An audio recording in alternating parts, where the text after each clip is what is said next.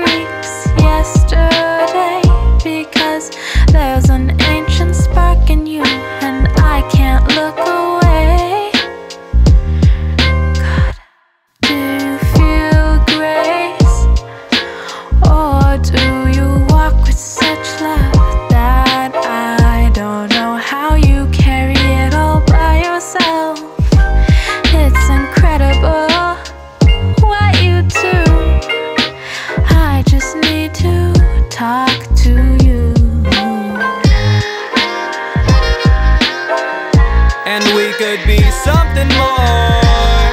Yeah,